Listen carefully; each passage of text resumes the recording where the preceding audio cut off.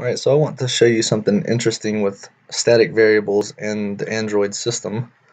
I have just this simple app right here. There are two activities. Main activity is the launcher. I have a public static string declared called word with the value of null. And in the onCreate, I give the, var uh, the variable of value, and it's just value of static. And I also have logging information in each lifecycle. So in onCreate, I got main activity onCreate called, on resume, main activity on resume called, just to kind of give some logging data of the life cycles that are called from each activity. And so there's a fab in here also. Whenever you click it, it starts the new activity, which is main 2 activity. And in here, in are on create, of course, there's log data again, main two activity on create called to kind of uh, show us the flow of the app. I have a text view in main activity 2 and I set the text with main 2 activity, next line, and the static variable from main activity. And that's what I want to show you that's interesting because I've used static variables a lot without knowing that their memory can be leaked. And I'm going to show you how to leak that memory and how it can affect you, especially if you're using a singleton ins instance in the form of a static uh, variable. Because this might be the source of some null pointer exceptions you're getting and wondering how the world is this possible. Alright, so the same on resume, on destroy, on low memory. Um, I'll put them all on there. They're not all guaranteed to fire off, but I just wanted to have them on there just in case. And so I got the the tag in here for the video. I'm going to clear it. Also have the app up right here. So let's see. Okay, so this is our first activity. Main activity is just hello world, and I hit that fab and it'll go to activity 2. Uh, but I'm going to start over so you can see the life cycles being called. So here it is right here, main activity on create, main activity on resume.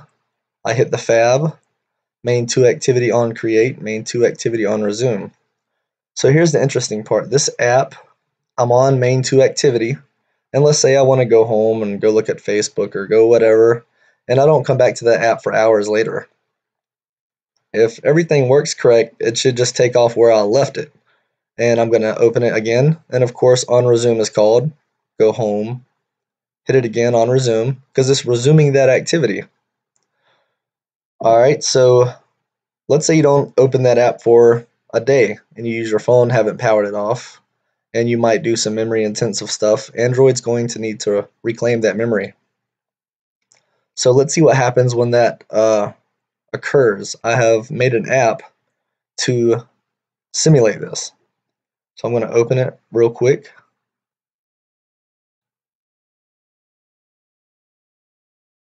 Now notice I didn't click back or anything. I clicked the home button off of this little test app. So when I reopen it, it should just resume it from where I left off. But what you're going to notice is it doesn't resume. It does, but it doesn't.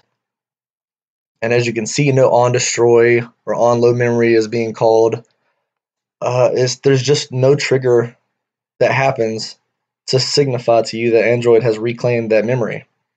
And technically, it didn't destroy because it's still there, but it just needs to be recreated. So Android is going to try to reopen that activity, which was main 2 activity, and it's not going to be able to resume it because that memory has been leaked. Uh, it's going to have to recreate itself. And, you know, you would think that if Android destroys that process or destroys that app, whenever I reopen it, I'm going to it's going to call the launcher activity and it's going to recreate it from there, but that's not what happens. It tries to resume where it left off, but it can't just resume there. It's going to recreate it from there. So with that being said, that main activity that was under it in that stack, right, is going to be in the same situation. So if you have initialized anything in onCreate in main activity, it's it's not there. And that's kind of the danger of static variables to be aware of. uh, because their memory can be leaked and you can get some nulls. So I'm just going to hit clear all and it's going to destroy all the processes I just started. And I'm going to reopen the app and let's see what it says. Main to activity null. And if you noticed, it called on create again and on resume. So it didn't just resume that app, it recreated it from where it left off. And it's remember this uh, text that set text main to activity and then that static variable for main activity. And as you can see, it's null because that main activity is there, but it's, there's no content in it. It's got to recreate itself. And the only reason we're able to reference it is because if you look, we have declared it a class-wide variable. So it's there, but because we initialized it in onCreate, it has no value whenever this process is destroyed. So just be careful whenever you use uh, static variables. And uh, this app that I used is called Spawner. If you want to use it, instead of waiting for hours and opening other apps and doing this and that, trying to make your Android uh, remove that process or reclaim that memory, uh, you can just open this app and it'll immediately begin. It just spawns a bunch of new processes and activities and uh, it doesn't access your uh, device settings or anything like that. It's just an app that continuously spawns different processes and activities, and it does so much uh, spawning that the Android system needs to reclaim memory. In fact, I'll hit it again so you can kind of see it. Uh, it's going to prepare.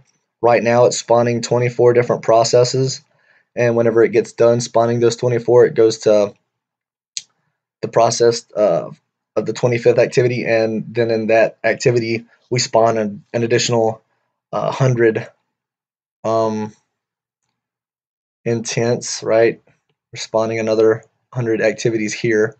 So altogether is 125 activities spawned with uh, a total of 25 different processes, which as you can see is eating the memory up here, but you see it go down and up, down and up. That's just the Android system you're it's needing memory to do it, but it's also killing off memory at the same time, which is why you see it go down and up, down and up. Uh, so it's kind of interesting to see how the Android system, how quickly it reacts and kills off background pro uh, processes. Uh, but whenever it's done, just hit the clear all button. The uh, app may seem unresponsive or the device may seem unresponsive for a couple seconds, but that's just because it's destroying all those processes and uh, those activities we just created. And so just like that, now that memory from that static variable is leaked and it's null. So be careful if you got references to like databases or anything like that or uh, something you fetch online. Um, uh, there's many ways to remedy it.